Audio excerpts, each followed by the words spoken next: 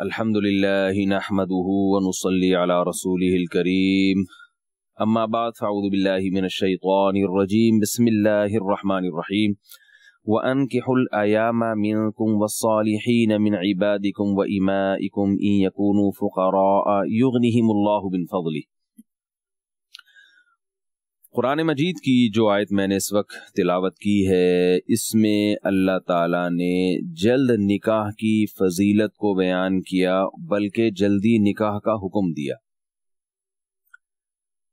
इस्लाम चूँकि एक कामिल दीन है, दो बड़ी खासियतें हैं इस्लाम की जो आपको दुनिया के किसी मज़हब में नज़र नहीं आएँगी। एक, इस्लाम हर चीज़ में आपको गाइड करता है।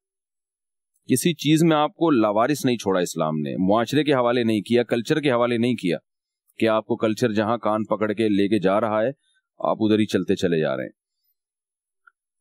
दूसरी इस्लाम की खूबी यह है कि दीन फितरत है, ऐसे हकाम नहीं दिए जो नेचर के खिलाफ हों। बल्कि इस्लाम ने जो हमें हकाम दिए, हमारी फितरत को वो अपील करते हैं।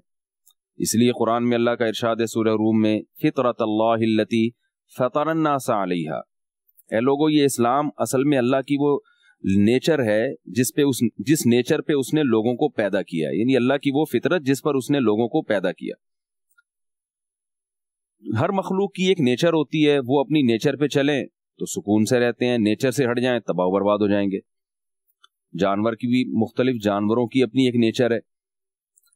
शेर की नेचर है गारों में रहना, शिकार करके गोश्त खाना, झपटना, धाड़ना अब आपने अकल इस्तेमाल करके शेर को एयर कंडीशन रूम में बिठा दिया। आपको शेर पे तरस आया कि इसको देखो, हज़ारों साल हो गए, गार के अंदर जाके रहता है, कछारों में रहता है, मिट्टी पे सोता है। तो आपने शेर को समझा बुझा के और उसको आप किसी तरह बहला फुसला के ले आए और एयर कंडीशन रूम में गद्दों पे बिठा दिया आपने उसको। टेम्परेचर भी मेंटेन रखने का, उसको रिमोट कंट्रोल हाल में पकड़ा दिया। देखो भाई, इस तरह से आप टेम्परेचर मेंटेन रख सकते हैं। तो बड़े मज़े से जनाब वो गद्दों पे बैठ रहा है तो नतीजा क्या निकलेगा? थोड़े दिनों में शेर की ऐसी की तैसी हो जाएगी। वो शेर शेर नहीं रहेगा वो। या तो वो बकरी बन जाएगा या डिप्रेशन का मरीज़ बन के मर जाएगा खुद कुछ ही कर लेगा वो। यही वजह है कि जू में, चिड़ियाघर में जानवरों को वही नेचुरल माहौल देने की कोशिश की जाती है, जो उनको जंगलों में फितरत ने दिया है। तो जानवर को तो अल्लाह ने जिस नेचर पे बनाया, कुरान मजीद में अल्लाह का इरशाद है आहसाना कुल्ल इन खलकाहू सुम्मा हदा। अल्लाह ने हर चीज़ को, हर मखलूक को उसकी नेचर पे पैदा करके चला दिया, उस पर धक्का दे दिया, वो खुद ही अपनी नेचर पे चल रहे हैं। आप देखिए, बिल्ली के बच्चा जब पैदा होता है, आप उसके सामने आग का अंगारा रखें, वो नहीं मुँह मारेगा उसके ऊपर, वो दूध ही पिएगा। नेचर पे चला दिया। लेकिन इंसान के बच्चे के सामने आप आग का अंगारा रखेंगे तो वो उसकी चमक धमक देख के फ़ौरन हाथ बढ़ाएगा और अपना हाथ जला देगा। हालाँकि इंसान का बच्चा तो ज़्यादा जहीन होता है। इस अमल में फितरत ने, अल्लाह ने हमें बता दिया कि जानवर की जो फितरत है उसमें मैं उसको चला दूँगा, उसको ट्रेनिंग की ज़रूरत नहीं रहेगी। लेकिन इंसान जहीन होने के बावजूद अपनी फितरत पे चलने के लिए तरबियत का मोहताज है, उसे मादी तरबियत भी चाहिए, रूहानी तरबियत भी चाहिए। तो वालदेन उसे बताएँगे, बेटा, ये खाना है, ये नहीं खाना। आप देख लेना। कभी आपने बकरी को गुटका खाते हुए देखा? सिगरेट पीते हुए देखा आपने? पान खाते हुए देखा? जो हज़ारों साल पहले जानवरों की खुराक थी, आज भी वही है। अगर चेंजिंग हुई भी है तो इंसानों ने की है। उसमें जानवर ने नहीं की। वो फिर भी वही कुछ खा रहे हैं। इंसान को देखें, दिमाग लड़ा लड़ा के, जो चीज़ें खाने की नहीं है, वो भी खा रहा है। गुटके खा रहा है वो। और पता नहीं मावा खा रहा है और क्या क्या चीज़ें आ रही है, शीशे पी रहा है। जो पीने की चीज़ें नहीं है, वो चीज़ें पी रहा है, जो खाने की चीज़ें नहीं है, वो खा रहा है।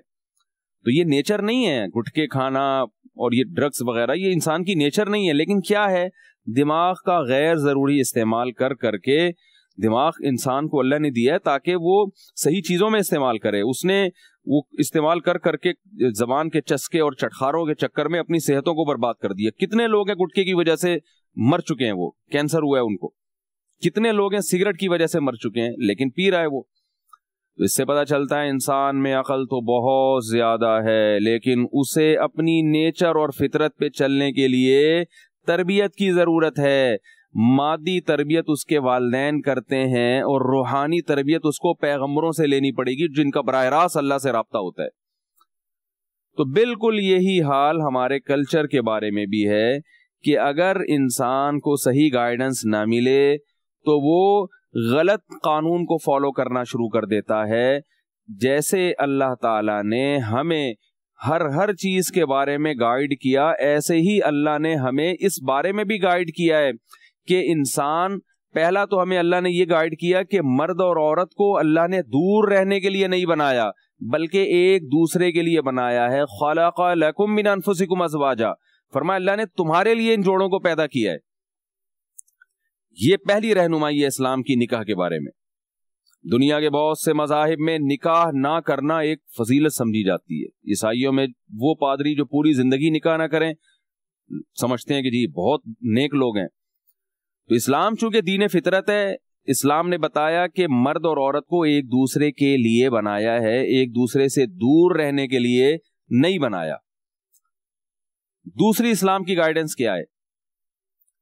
कि एक दूसरे के करीब आने का एक ही तरीका है। उसके अलावा कोई और तरीका तुम्हारे लिए हलाल नहीं है। बाज लोगों ने क्या किया? एक तरफ़ शिद्दत इख्तियार की कि एक दूसरे के करीब ना आए। जैसे हिंदुओं में होते हैं, उनके पंडित जी होते हैं, वो जंगलों में जाके बैठे हुए हैं और ना बीवी, ना बच्चे और ईसाइयों में वो पंडित के बजाय पंडित होता है, मुझे अक्सर हिंदुस्तान से कॉल आ जाती है, भाई, ये पंडित लफ्ज नहीं है, पंडित है। भाई, हमारे यहाँ तो होते नहीं है तो अब इसलिए हम प्रोनाउंसिएशन में गलती कर जाते हैं। आपके यहाँ बहुत हैं तो आप सही पढ़ते हैं तलफ़ तो अभी मुझे याद आ गया। तो जो भी उनके पंडित नहीं, जो भी उनके मजहबी रहनुमा होते हैं, निकाह ना करने को उनके यहाँ अच्छा समझा जाता है। ईसाइयों के यहाँ, पादरियों के यहाँ अच्छा समझा जाता है।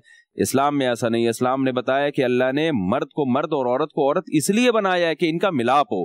लेकिन दूसरी तरफ़ गुलू क्या है कि इस मिलाप की कोई हदूद और कयूद नहीं है। मगरब ने क्या किया? गर्लफ्रेंड कल्चर को फरोख किया। और आज भी देख लें, वो पूरी दुनिया में गर्लफ्रेंड और बॉयफ्रेंड का कल्चर आ रहा है। बगैर निकाह के एक दूसरे के साथ रहना, इसको इस्लाम ने हराम करार दिया कि ये दूसरी गलत इंतहा है। एक दूसरे से दूर रहना भी गलत और एक दूसरे के करीब आना निकाह के बगैर ये भी गलत है, इसको जिना करार दिया, नाजायज दोस्तियों को, वला मुतखीदाती अखदान, अल्लाह ने फरमाया कि तुम किसी औरत के साथ दोस्ती नहीं लगा सकते, उसको अपनी फ्रेंड नहीं बना सकते। मुतखीदी मुतखीदा मुतखीदी अखदान, खिदन कहते हैं छुपी हुई दोस्तियाँ को।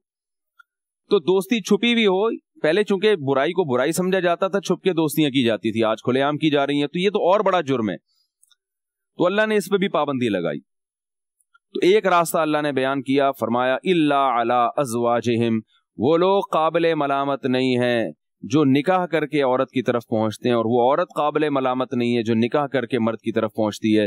तो इस्लाम ने सिर्फ़ एक रास्ता बयान किया, और वही एतदाल का रास्ता है दो इंतहाओं के दरमियान। इसी वजह से कुरान ने फरमाया वक़ैद अली का जालना कुम उम्मत वसता। हमने तुम्हें मतदिल उम्मत बनाया है। जो मज़हब मुखालिफ लोग हैं, वो एक इंतहा की तरफ़ निकल गए, उन्होंने जिना को अलाउ कर दिया। और आप देखें वलद जिना बच्चों की किस कदर कसरत है उन मुल्कों में। बाप का पता नहीं चलता, डीएनए से बाप पकड़ा जा रहा है। बहुत से बच्चे तो बाप के बगैर सारी ज़िंदगी गुजार देते हैं। बाप की शफकत और उसकी तरबियत से महरूम होते हैं। माए अकेली पूरी अपने बच्चों की तरबियत कर रही होती हैं, कोई सहारा देने वाला नहीं होता। एक इंतहा ये है दूसरी इंतहा यह कि निका से ही दूर भागते हैं। इस्लाम ने इनके दरमियान अतदाल कायम किया और फरमाया कि ना ना ना ना ना, इस्लाम दीन फितरत है, तुम्हें औरत से दूर रहने का हुक्म नहीं देता। ये तो नेचर के खिलाफ है। दुनिया में हर मखलूक में नर और मादा की एक दूसरे की तरफ़ अट्रैक्शन होती है तो इंसानों में क्यों नहीं होगी? और ये अट्रैक्शन इसलिए थोड़ी अल्लाह ने रखी है कि इसको ख़त्म किया जाए, बल्कि इसकी तकमील की जाए। लेकिन तकमील करने का एक महजब तरीका है और एक गैर महजब तरीका है। गैर महजब तरीका है फहाशी बेहयाई। महजब तरीका है निकाह के ज़रिए अपनी ख्वाहिश को पूरी करना।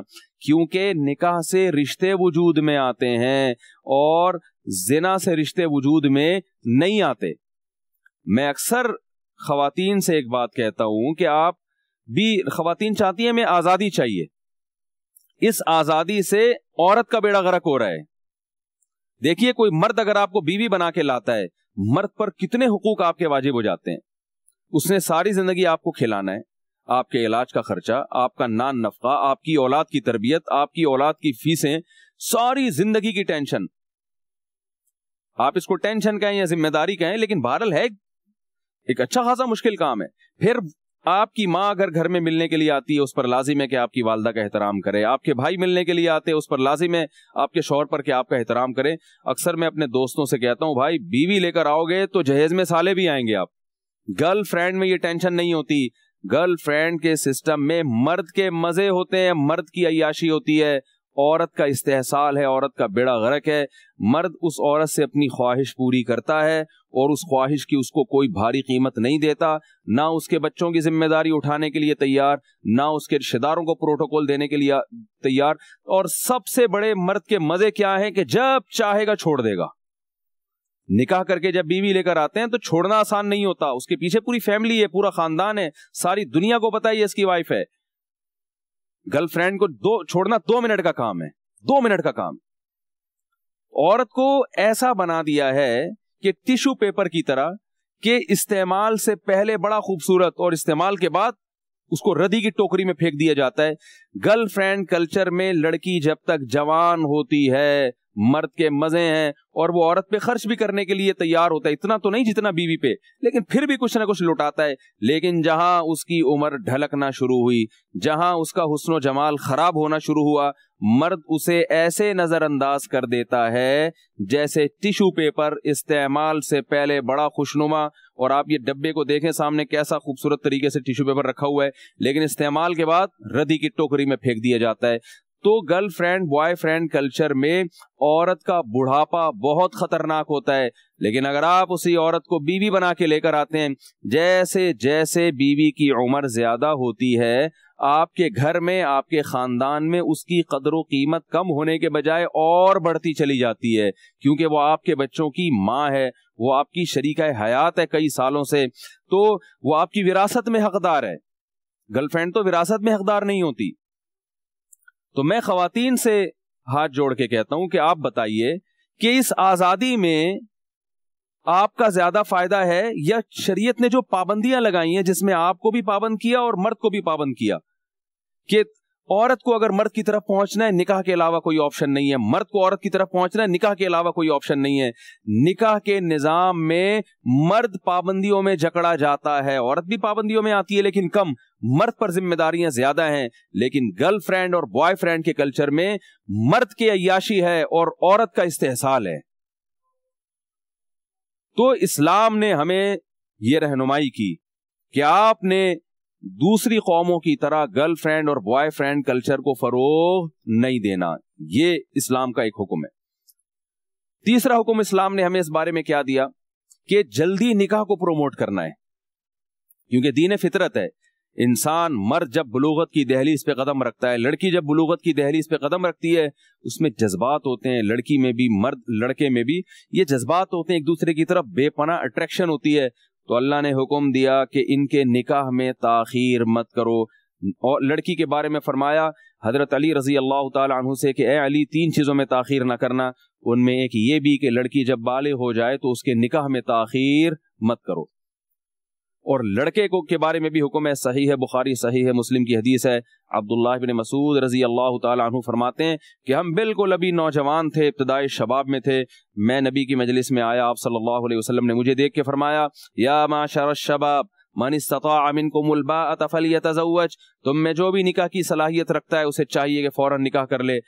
फ़ैन अगज़ुलबसर इससे तुम्हारी निगाहें झुक जाएँगी वह आसानफर्ज और तुम्हारी शर्मगाह हराम से महफूज हो जाएगी। और फरमाया, जिसमें निकाह की इस्तात ना हो। इस्तात ना होने का यह मतलब हरगिज नहीं है कि चार लाख रुपए तनख्वाह ना हो। ये खूब समझ लें। इस्तात ना होने, मैंने इस पर पूरे किताब लिखी है। इस्तात ना होने का मतलब ये है कि आपको आपकी अर्निंग के हिसाब से कोई रिश्ता देने के लिए तैयार ना हो। अगर आपको रिश्ता मिल रहा है चाहे आप कितने ही गरीब क्यों नहीं है, लेकिन अगर आपको कोई लड़की इसी गुर्बत में आपके साथ रहने के लिए एग्री हो जाती है, इसका मतलब है आप में इस्तात है, आप निकाह कर सकते हैं। लेकिन हमारे यहाँ क्या है कि बहुत से लोगों से लड़कियाँ निकाह के लिए एग्री भी होती हैं, लेकिन वो कहते हैं, अभी मैं नहीं अफोर्ड कर सकता। भाई, जब वो एग्री है आपके साथ इसी तरह रहने के लिए तो आप क्यों नहीं अफोर्ड कर सकते? वो अपना हक कम करने या छोड़ने के लिए तैयार है तो आप क्यों नहीं रह सकते? इसलिए ओलमा ने लिखा है कि जिस शख्स को कोई रिश्ता मुयसर आ जाए तो अगरचे वो गरीब ही क्यों ना हो? तो वो शरीयत की रोशनी में वो उन लोगों की फहरिस्त में शामिल है जिनमें निकाह की इस्तात है। लेकिन होता क्या है हमारे यहाँ? लड़कों का मैार है कि बहुत ऊँचे से ऊँचा, ऊँचे से ऊँचा, वो मशहूर मिसाल है ना, दुकान पकौड़ों की और बातें करोड़ों की। सैलरी कम है, अर्निंग कम है मगर इनको बहुत बड़ा छक्का चूंके मारना है। उस छक्के के चक्कर में जनाब ये चालीस चालीस साल पैंतालीस पैंतालीस साल के होके जाके निकाह कर रहे होते हैं। मैं तो खुद निकाह ख्वाम भी हूँ, निकाह पढ़ाता हूँ, मैंने सैकड़ों निकाह पढ़ाए हैं। बहुत अफसोस होता है। यानी शादी हो रही है और पचास साल लड़के की उम्र है और लड़की की पंद्रह, बेचारी बीस बीस साल पच्चीस पच्चीस साल की इतना एज डिफरेंस वजह क्या है कि लड़कियों को रिश्ते नहीं मिल रहे और लड़का कम शादी कर रहा है पचास साल की उम्र में जाके। तो लड़कियों के वालदेन तो चाह रहे होते हैं कि इनकी शादी करें हम। तो लेकिन लड़का नहीं एग्री होता तो नतीजा क्या निकलता है? वालदेन फिर मजबूर होते हैं इतनी इतनी बड़ी बड़ी उम्र के आदमियों के साथ। और चलो, बड़ी उम्र का आदमी है, लेकिन उसमें कोई अलग से कोई सुरखाब के पर लगे हुए हैं तो भी कुछ समझ में आता है। लेकिन मैंने डॉक्टर लड़कियों के निकाह पढ़ाए आठवीं पास लड़कों के साथ। मजबूर थी वो लड़कियाँ भाई रिश्ता नहीं मिल रहा तो आठवीं पास लड़के से निकाह किया है। और ज़ाहिर है गैर कुफू में जब निकाह होगा तो बड़ी पेचीदगियाँ पैदा होती हैं। अब ऐसा ना हो कि किसी खातून का मियाँ आठवीं पास हो तो वो उसको मेरा बयान सुना रही हूँ। अब जैसा भी है, बहरहाल हो सकता है दूसरी क्वालिटी उसके अंदर कोई अच्छी सिफात मौजूद हो तो सबर करें, गुजारा करें। लेकिन एक मिसाल दे रहा हूँ मुआशरे की। तो इसलिए इस्लाम ने हुक्म दिया, निकाह जल्दी होना चाहिए। बुलूगत के बाद जल्द से जल्द निकाह करो। और अल्लाह ने कुरान में जहाँ जल्दी निकाह का हुक्म दिया, अल्लाह को मालूम था कि निकाह की जहाँ बात आएगी सबसे पहले अपनी जेब देखता है इंसान।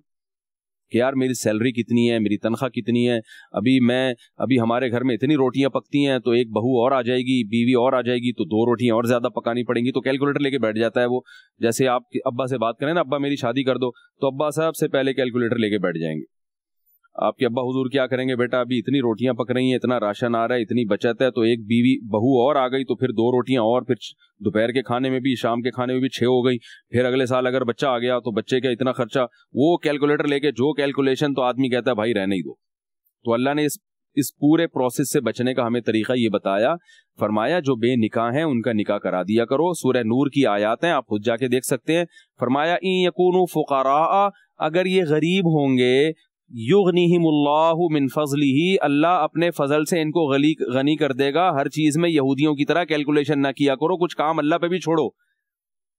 देखें, बच्चा जब पैदा होता है, अगर माँ उस वक्त, जब वो बच्चा माँ के पेट में और कैलकुलेटर लेके बैठ जाए कि बच्चा जब पैदा होगा तो दूध कहाँ से आएगा? इसकी खुराक तो छः महीने कम से कम दूध तो इसको भरपूर तरीके से पीना पड़ेगा। और मेरे मियाँ की जेब में तो इतनी तनख्वाह है नहीं कि रोज़ाना एक किलो दूध लगा लें। तो मैं कहाँ से खाऊँगी? कहाँ से? तो अल्लाह क्या कहेंगे? भाई पैदा तो होने दो। जैसे ही बच्चा पैदा होगा, अल्लाह अपनी ताकत और कुदरत से माँ की छातियों में दूध पैदा कर देगा।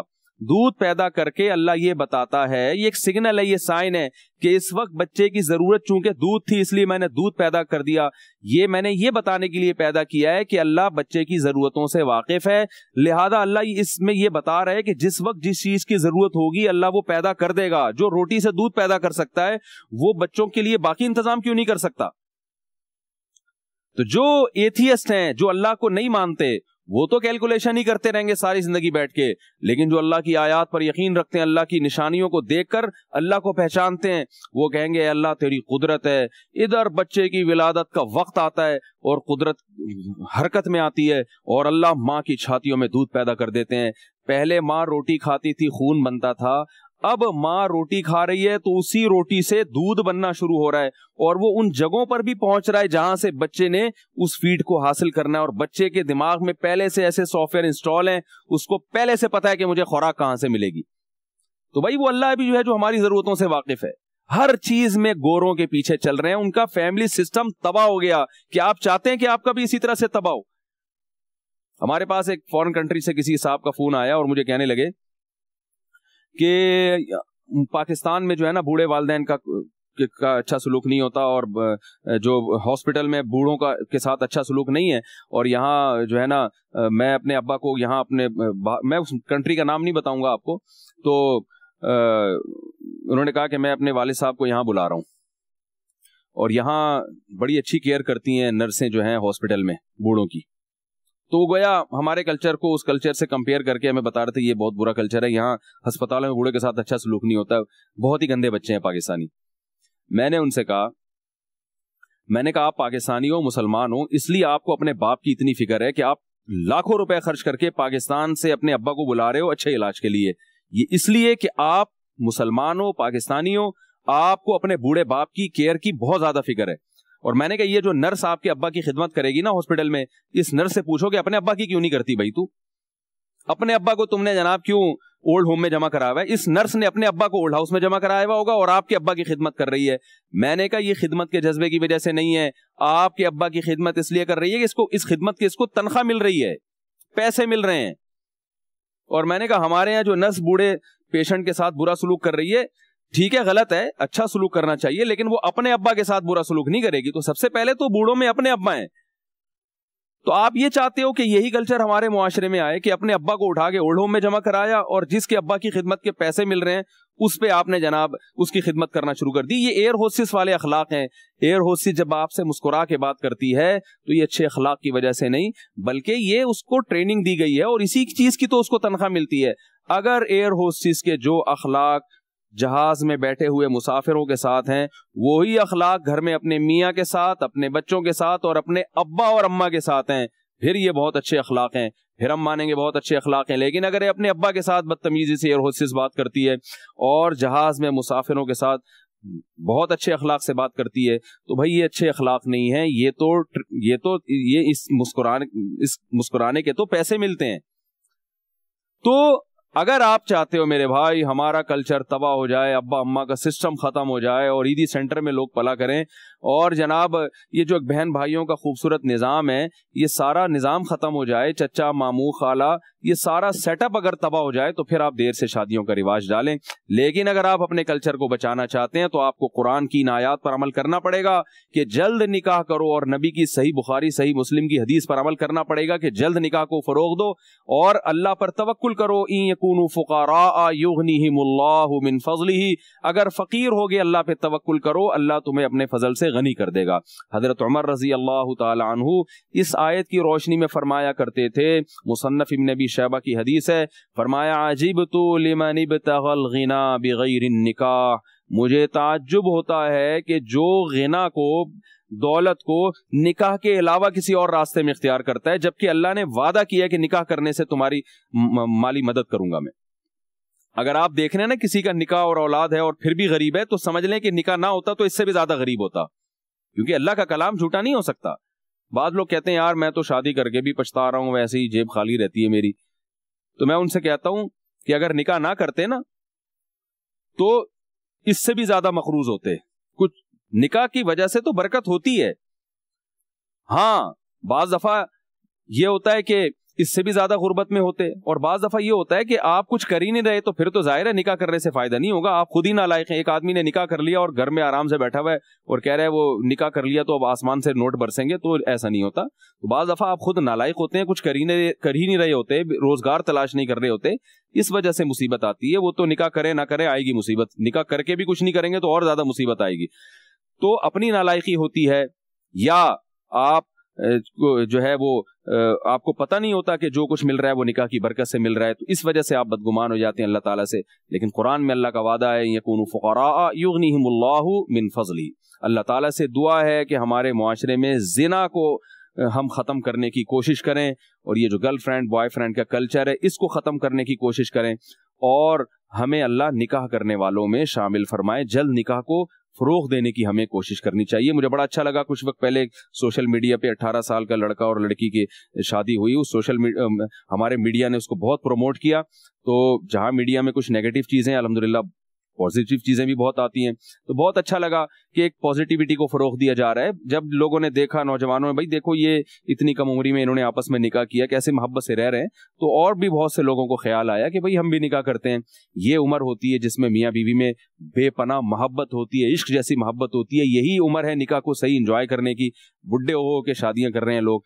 चलो, ना करने से ये भी बेहतर है। लेकिन बहरहाल, अल्लाह उसके रसूल की तालीमत पे चलेंगे। सेहत भी अच्छी रहेगी, खुश भी रहेंगे और आखिरत में भी अल्लाह ताला ऊँचे मकाम और दर्जात अता फरमाएगा वमा अलैना इल्लल बलाग। पुरनूर सहर और ज़िक्र खुदा नबियों की मदह सराई। पैगाम सुना एबाद सबा पुरकैफ आई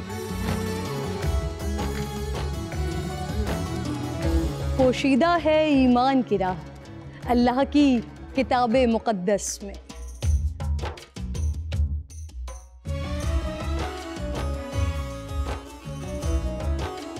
बस गौर व फ़िक्र का दर है खुला हिकमत से सजी इस महफिल में। है लब पे दुआ जिदनी इल्मा। रोशन ही रहे ये सारा जहाँ। रिमझिम रिमझिम रहमत की घटा हर एक ने हिदायत पाई। नेमत और बरकत से सजा इफ्तार और सहर का दस्तरखा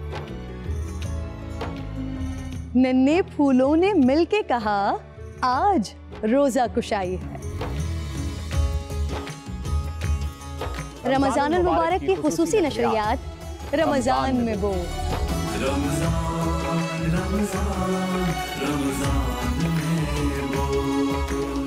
रमज़ानुल मुबारक की खसूसी नशरियात रमज़ान में बोल। फ़हीम खान और किरण नाज के साथ रोज़ाना सुबह तीन बजे। सहर ट्रांसमिशन और शाम साढ़े पाँच बजे अवतार ट्रांसमिशन सिर्फ़ बोल एंटरटेनमेंट पर।